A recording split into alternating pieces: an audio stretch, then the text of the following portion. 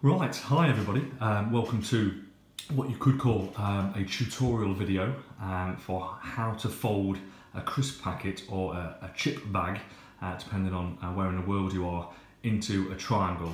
I say you could call it a tutorial video, um, that's exactly what I'm calling it. So to begin with you need um, a packet of crisps. Now I'm sure other uh, crisp manufacturers are available, these just happen to be uh, my favourite brand and my favourite flavour. Now, um, I've already eaten uh, these crisps, so um, I suppose that's step number two.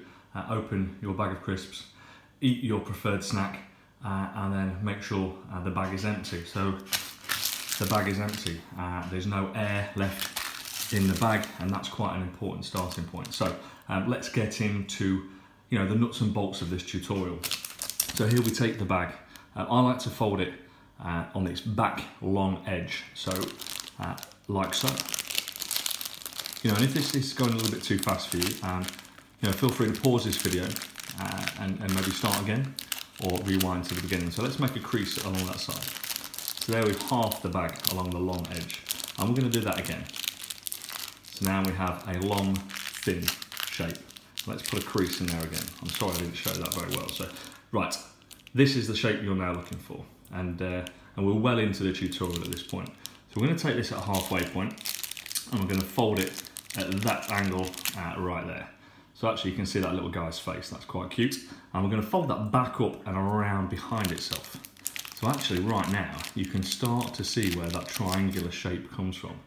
Uh, okay, we're going to take this side on the left now and this is going to wrap back round behind itself.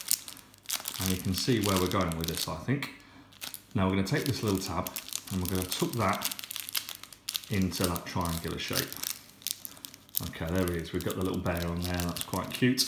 And we're going to take this tab and tuck that in there. And you could argue right now, yeah, I've made a nice little square. But that's not the shape we're going for. We're going for the triangle. So we're going to take this and we're going to tuck it in. Force that little corner in there. That's normally the trickiest part, that little corner there. We just want to get that flattened out. And the end result is quite a cute looking uh, little triangular chip bag or crisp packet. Uh, hopefully you can see that there. Uh, I was intending to put the, uh, the written instructions uh, into the comments, but I don't think I'll bother. I think this is quite a, a thorough uh, explanation and visual aid for how to fold your crisp bag or chip packet into a triangle.